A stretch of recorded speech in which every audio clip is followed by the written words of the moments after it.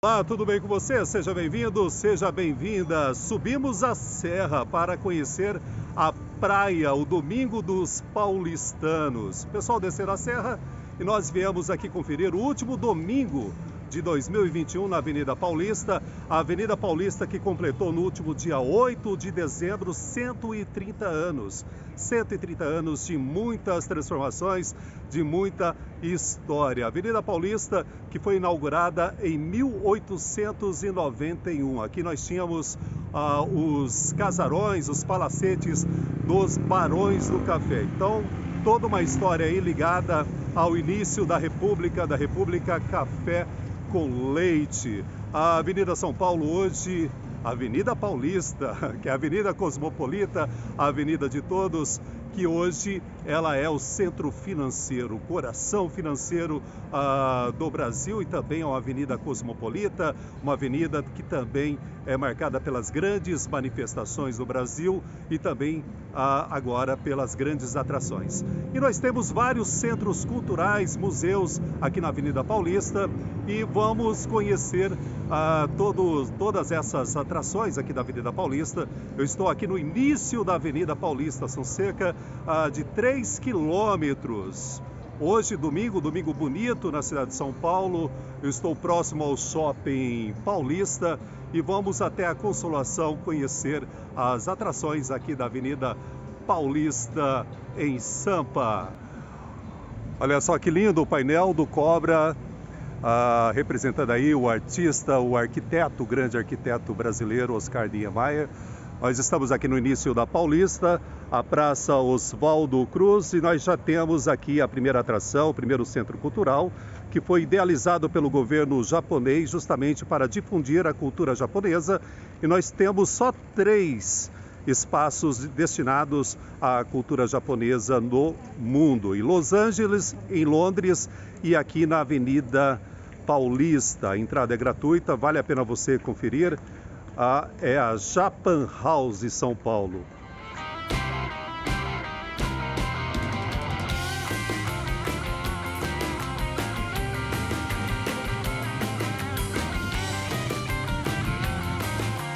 Japan House, que foi inaugurada em 2017, logo no início aqui da Paulista. É uma atração que vale a pena você conferir, já que a entrada é gratuita. Agora vamos conhecer o segundo centro cultural muito interessante que é a Casa das Rosas.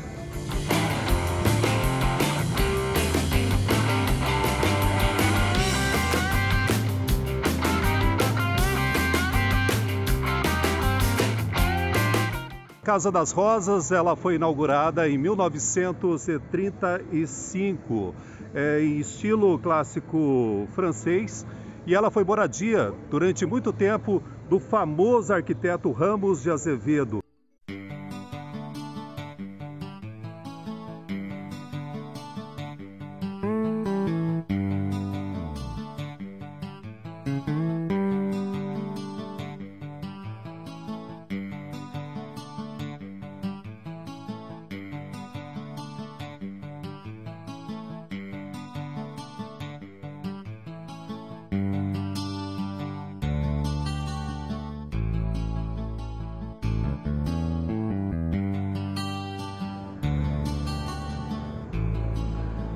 Aqui na Casa das Rosas tem um jardim maravilhoso.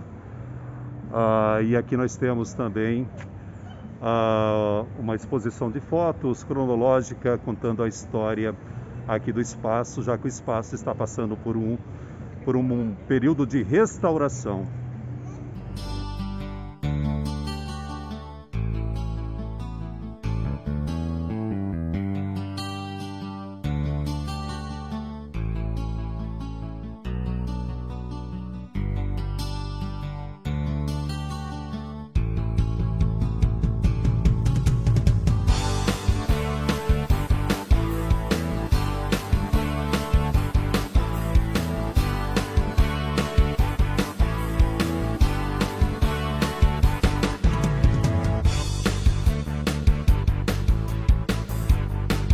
Aqui na Casa das Rosas também o espaço uh, Haroldo de Campos, grande poeta, grande tradutor. de 1929 a 2003. E aqui nós temos boa parte do acervo do grande Haroldo de Campos. Aqui nós temos inclusive um painel para fotografia, uma foto do interior da casa das rosas, muito interessante. O jardim é belíssimo e nós temos também local ah, gastronômico muito procurado ah, pelos frequentadores aqui da Avenida ah, Paulista. Então vale a pena você visitar, até para conhecer o jardim, já que a Casa das Rosas está passando por uma restauração.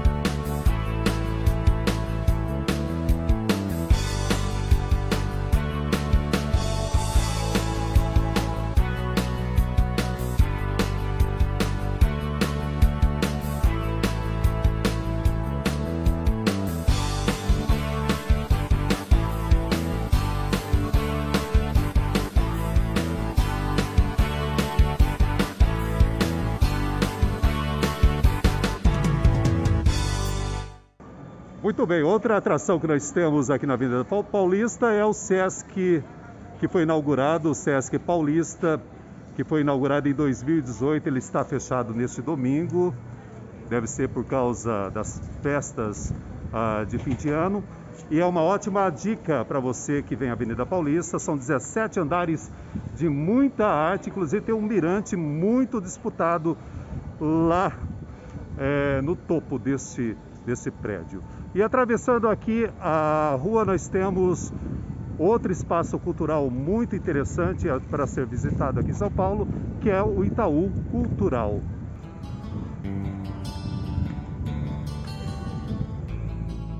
Frente ao Itaú Cultural, nós temos aqui do outro lado uh, da Paulista o primeiro hospital particular de São Paulo, que é o Hospital Santa Catarina, ao fundo a bela igreja Santa Catarina, a igreja que ela foi construída, ela foi inaugurada em 1920. Outro ponto uh, turístico, outro cartão postal aqui da Avenida Paulista. Mostramos a Casa das Rosas, que foi moradia do Ramos de Azevedo, grande arquiteto, e aqui nós temos uma escola do início do século passado, uma escola estadual, uma escola pública, a escola Rodrigues Alves, que também foi projetada pelo Ramos de Azevedo.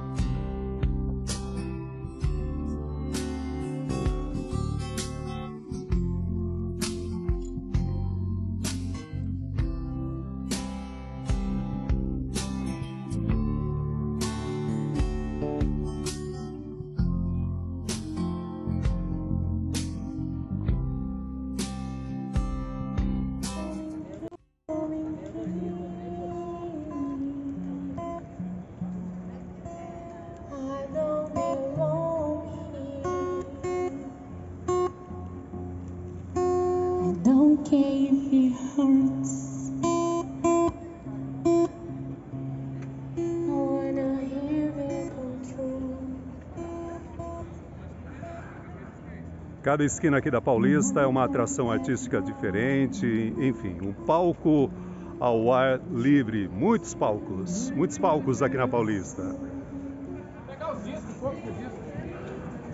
Olha só que interessante, aqui na Paulista você encontra também vinil, né?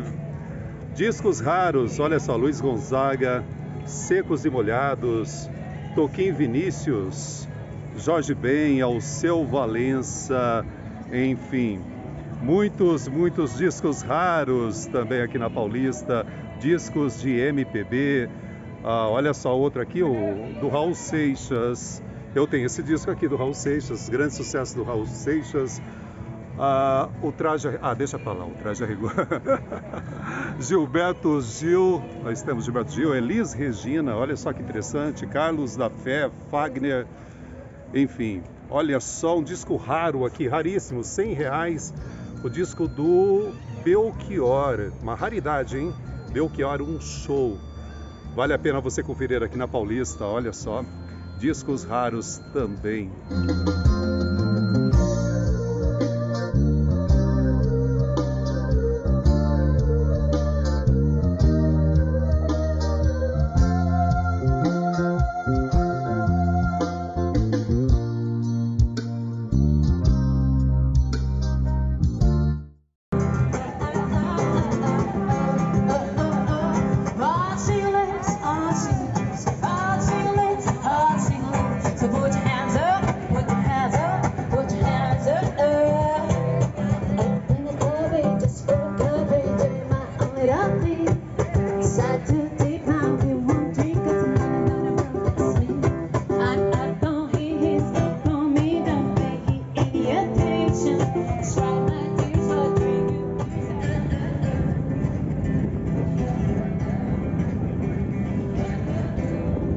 Paulista que é palco também da principal corrida que nós temos, que é a corrida de São Silvestre. E aqui nós estamos em frente ao famoso prédio da Gazeta, Fundação Casper Libero. E as suas famosas uh, escadas, né? Onde ficam sentados observando o dia a dia aqui da Paulista, os estudantes, enfim, também é um local que as pessoas passam para contemplar a Paulista.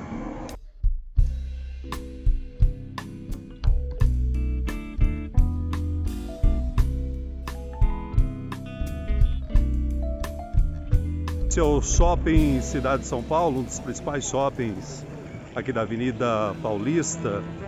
Um shopping novo aqui na Avenida Paulista, também muito visitado uh, aqui pelos paulistanos, pelos turistas.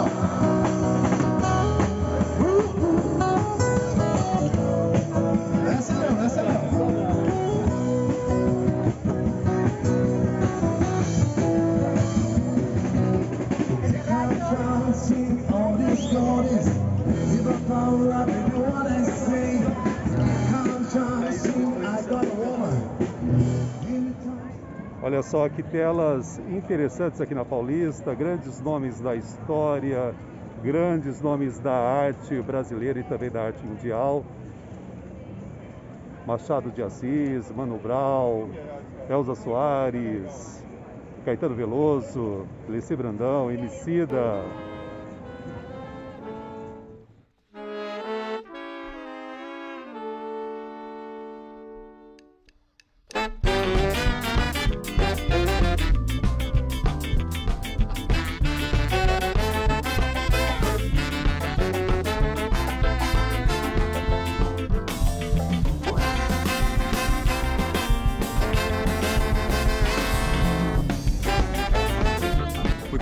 estão observando aí a Fiesp, a sede da Fiesp, a Avenida Paulista também o centro financeiro do Brasil.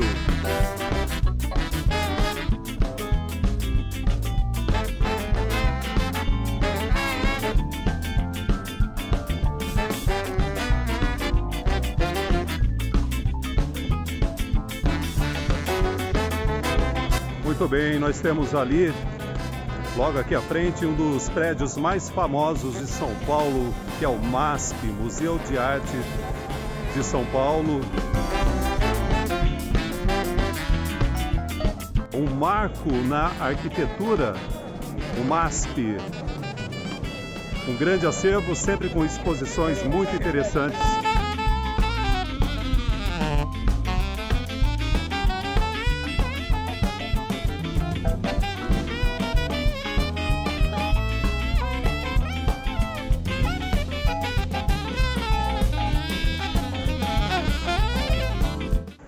Lado do MASP, nós temos aqui o Parque Trianon. Aqui a famosa escultura do Ayanguera, bandeirante paulista.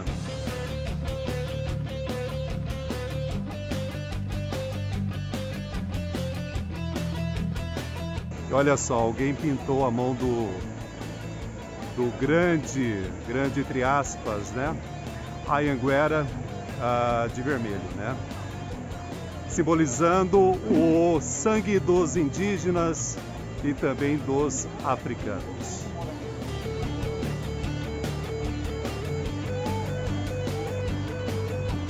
Outra opção de lazer muito procurada pelos paulistanos, pelos turistas, é o Parque Trianon, que fica em frente ao Museu de Arte São Paulo, MASP.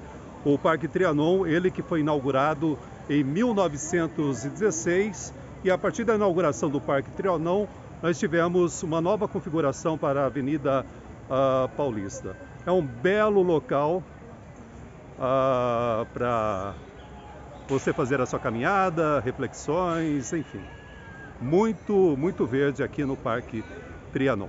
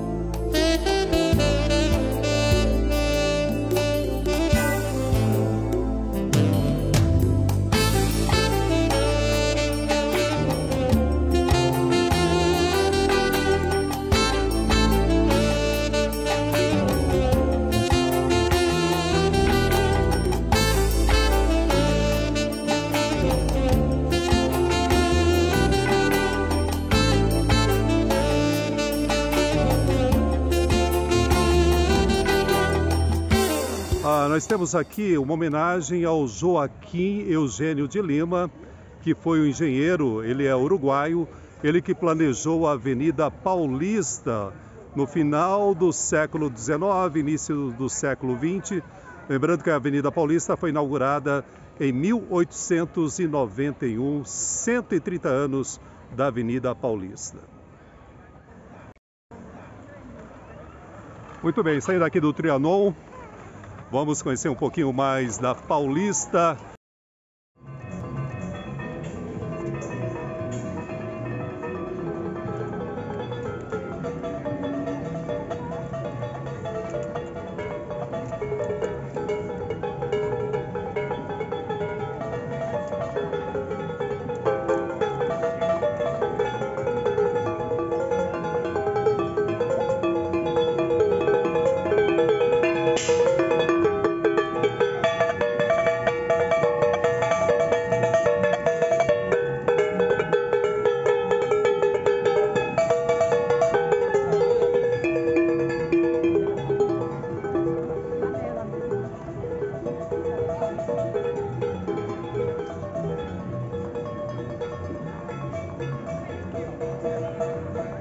Muito bem.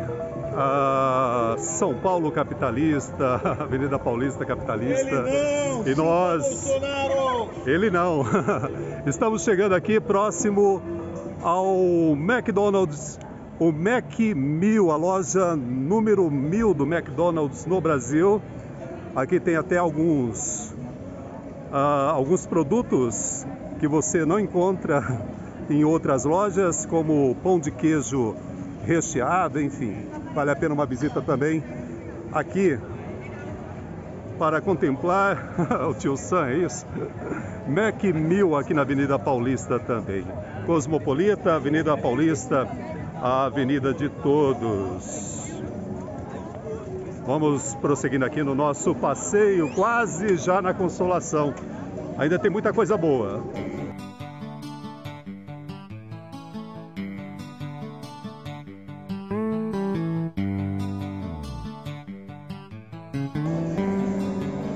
Muito bem, aqui na Paulista nós temos ainda algumas atrações do Natal. Olha só esse belo presépio aqui ao lado do Mac 1000. Ao lado do Mac 1000 nós temos também uma nova atração, nem tão nova assim. Tínhamos o Parque Trianon, agora nós temos o Parque Municipal Prefeito Mário Covas. É outra atração aqui em São Paulo. Vale a pena você conferir ah, este parque. Muita área verde. Além do Trianon, agora nós temos esse outro parque aqui em São Paulo.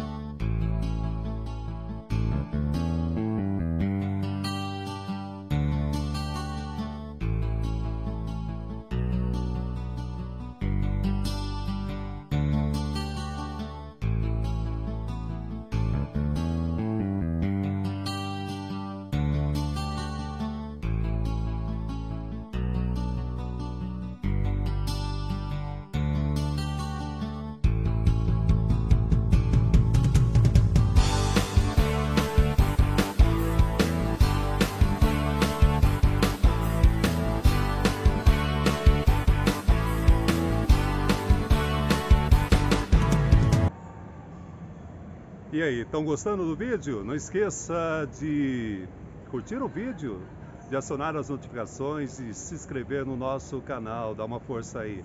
Estamos aqui no Parque Mário Covas, vamos conhecer agora um pouquinho mais da Paulista, uh, o restinho da Paulista até a Consolação. Vem comigo nessa. Olha só, toma, toma, vai,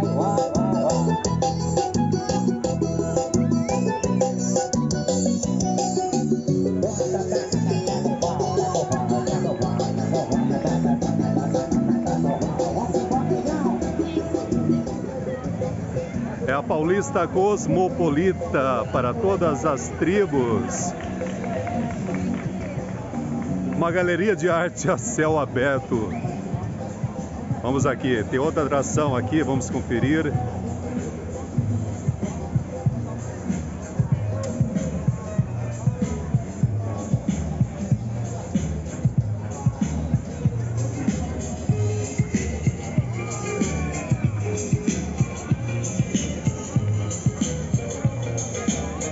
Prepara. Ele se concentra. Ele se diverte.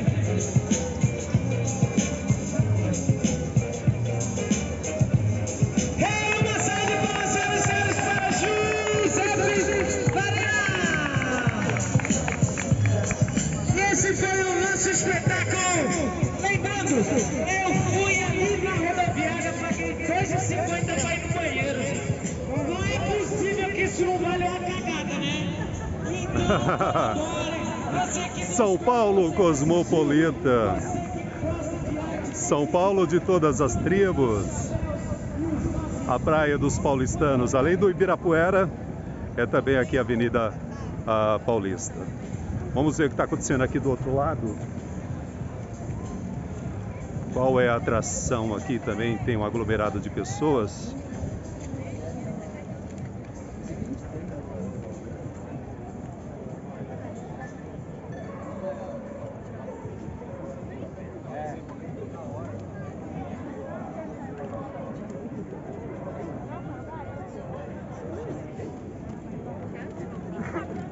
É, parece que vai começar o show aqui.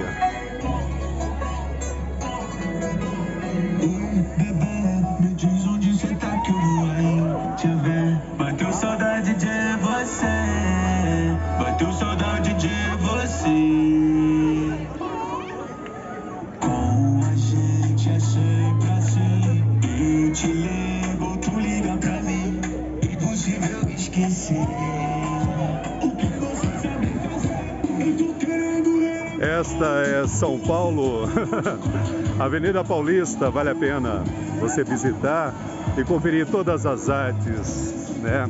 Desde a, do pessoal ligado à cultura LGBT, também a cultura nordestina, MPB, jazz, rock. É, você encontra de tudo aqui.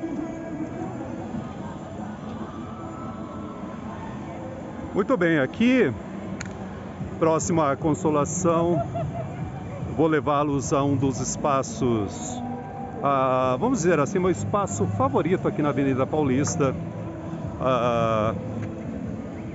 Tem a ver com essa galeria. Vamos lá?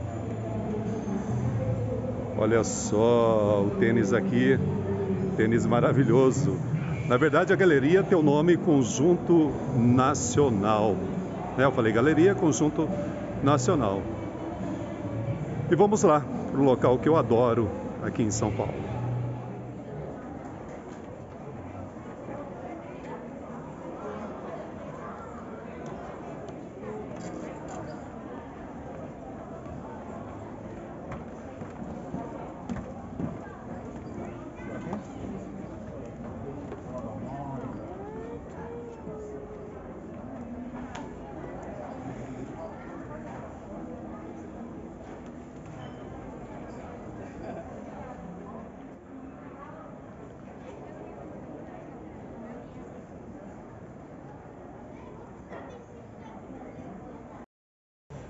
Olha só, e aqui nós temos um livro sobre Sérgio Moro, outro sobre o Lula, ah, também o José de Abreu e sobre o Ciro. Você encontra aqui na Livraria Cultura. Muito bem, esse é meu local favorito aqui, a Livraria Cultura. A tradicional Livraria Cultura que fica aqui no Conjunto Nacional na Avenida Paulista. Para quem gosta de livros, literatura, é um sinônimo né, de cultura aqui na Avenida Paulista. Muito bem, saindo da, do Conjunto Nacional, ainda muitas atrações aqui próximo à Consolação. É um ponto de encontro, as pessoas se reúnem, enfim, Aqui o que prevalece é o fora Bolsonaro, simpatizantes da causa gay, simpatizantes do Lula.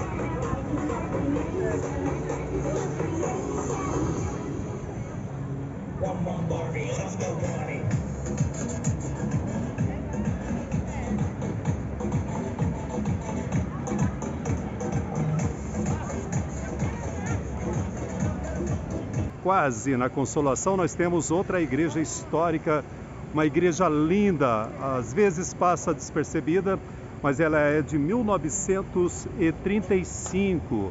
Ela foi concebida pelos padres jesuítas. Olha só que interessante, uma bela igreja aqui na Paulista, ao lado religioso da Avenida Paulista, a paróquia São Luís Gonzaga.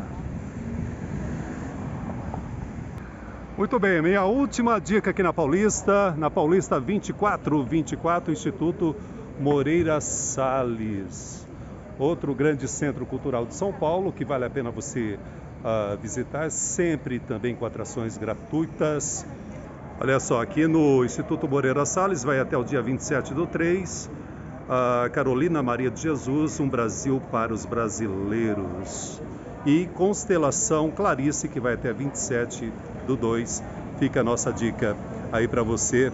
A nossa última dica aqui da Paulista, o Instituto Moreira Salles. Logo ali à frente nós temos a Avenida Consolação. Muito bem, depois de quase 3 quilômetros de caminhada, chegamos ao final da Avenida Paulista.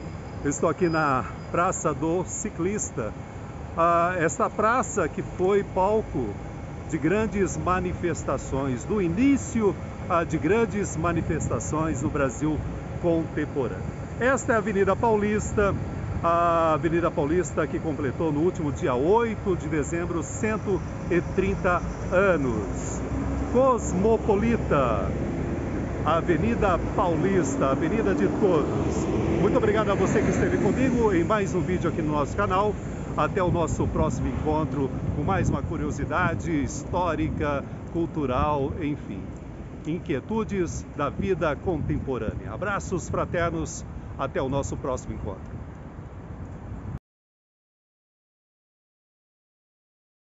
Muito bem, eu estava passando aqui na Paulista, essa obra me chamou a atenção, aqui no Centro Cultural uh, Coreano, nós temos também o Centro Cultural Coreano aqui na Avenida Paulista. É muito interessante essa obra.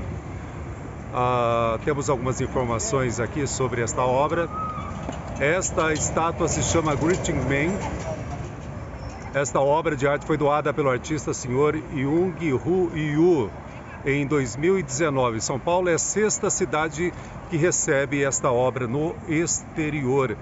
É um símbolo muito importante para a cultura coreana a questão da postura do cumprimento uh, do começo de uma relação, de uma amizade.